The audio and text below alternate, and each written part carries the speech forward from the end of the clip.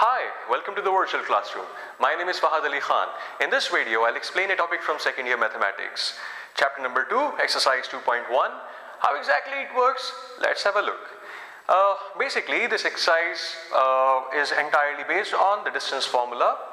Um, let's suppose two coordinates x1, y1 and x2, y2 in the given xy plane.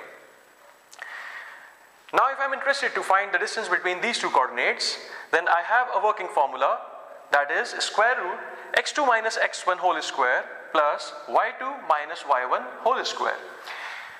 Uh, we can assign certain numeric values to this and this is how we can get the distance between the, uh, these two coordinates. So uh, let's consider certain values against x1 y1 and x2 y2.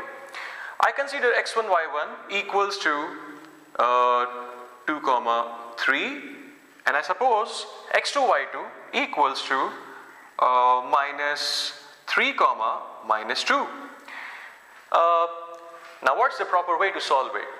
Uh, let's have a look.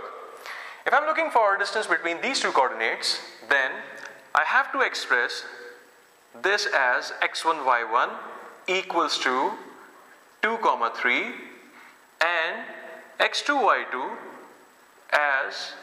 uh, equals to minus 3 comma minus 2. Now I have to give the reference of the distance formula here uh, and this is how I can substitute the value in the given formula. Like I have this x2 equals to minus 3 I have x1 equals to minus, uh, uh, this positive 2 so when I substitute according to the given formula x2 minus x1 whole square uh, I get minus 3 minus from this given formula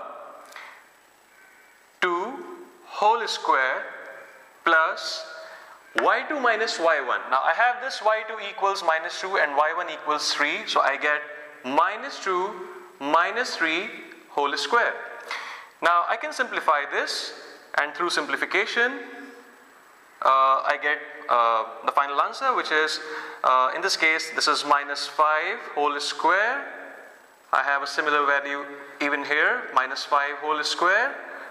I get distance equals to minus 5 square. That makes it positive 25 and 25 as well.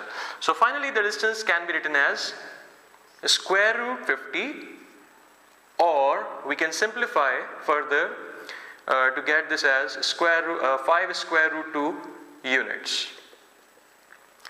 This is how I can like evaluate the value or I can find the distance between any two given coordinates in xy plane. Now uh, this particular exercise is the very basic one or the first uh, exercise from the chapter.